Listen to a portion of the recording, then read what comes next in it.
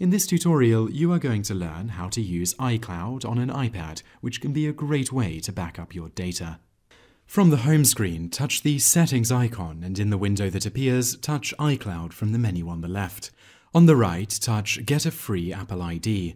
A pop-up window will appear. Enter your birthday, touch Next, and then enter your name and touch Next again.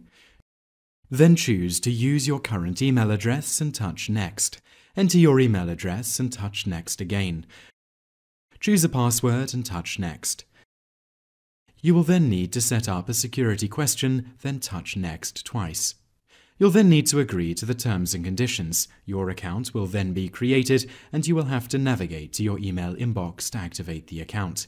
Here we are going to go to our PC, open the message in our Gmail from Apple, and click on the Verify Now link. A page will load and you will need to enter your Apple ID and password, which we just created. You will then be told that your email address has been verified. Now let's go back to the iPad and you can see here that the account still says that it is not verified. To refresh this, simply touch any other option in the menu, then navigate back to iCloud. The page will refresh, and when it is verified, a pop-up window will appear. Choose whether you want iCloud to know the location of your iPad. You will then be presented with the iCloud screen, and that is how to use iCloud on an iPad.